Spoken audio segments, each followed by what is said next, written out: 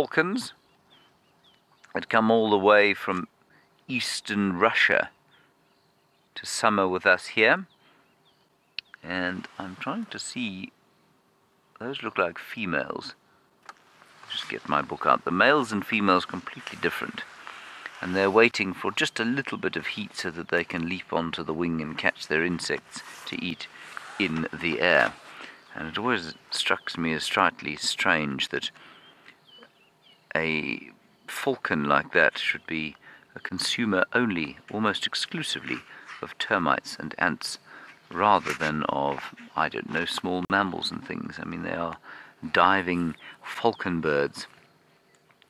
Yes, I think that was the female Amur falcon.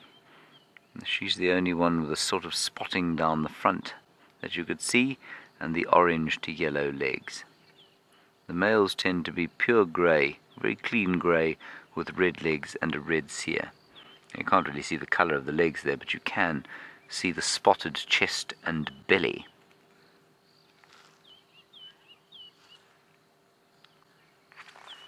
Right, Byron apparently has all of the Windsors together.